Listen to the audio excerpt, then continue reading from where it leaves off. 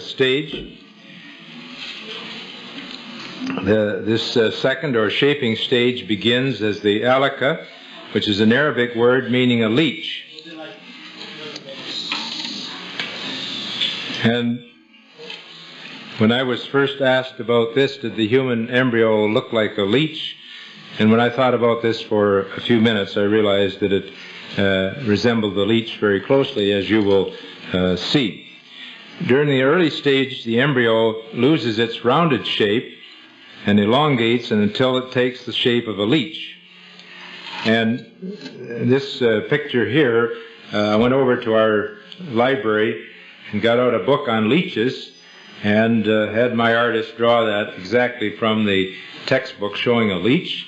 And here's a, a human embryo uh, here, uh, and they're on the 21, 22 days. And I think you have to agree that they look very much alike.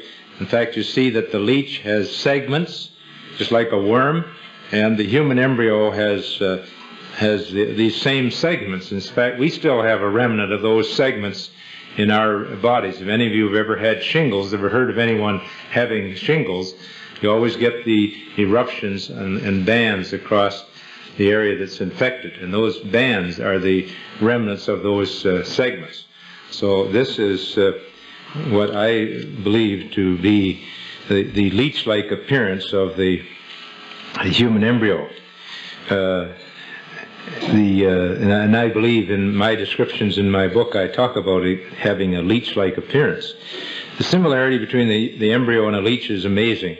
The embryo is attached to the wall of the chorion, chorionic sac, which is attached by chorionic villi to the endometrium or lining of the uterus. Uh, and so the human embryo is attached to the lining of the uterus just like a leech will attach to your skin. I don't know whether you have leeches here or not, but we have certain lakes in Canada. If you go in swimming, these leeches will attach to your skin and suck the blood. So the analogy there is, is quite uh, uh, amazing. Uh, initially, the embryo acquires a primitive circulatory and nervous system during this early stage. Thus, the term alaka refers to the leech-like external appearance of the embryo as well as, as well as to its clinging relationship to the uterus and is an appropriately descriptive term for this stage. Another meaning mentioned by the interpreters for alaka is similar to a blood clot.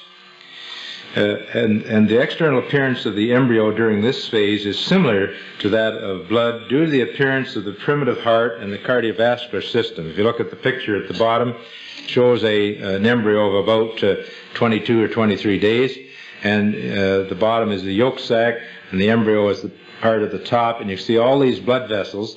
And if you were to see an embryo at that stage, and I should say that uh, uh, most embryos uh, will undergo spontaneous abortion at about this stage. In other words, when they're about two or three weeks old, uh, they will often uh, spontaneously abort. That means that they just are expelled from the mother's uterus uh, without a, a, known cause, although we've done a lot of studies on this and find that many of them have very abnormal uh, chromosomes and they couldn't have survived if they had lived.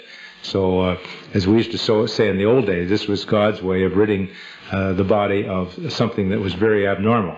But anyway, we do know that they are aborted at this early stage, and uh, they do look like a clot of blood because when they pull away from the uterus, then you have all these uh, uh, exposed uh, blood vessels which have a bloody appearance. So this explains one interpretation for alaka as a blood clot.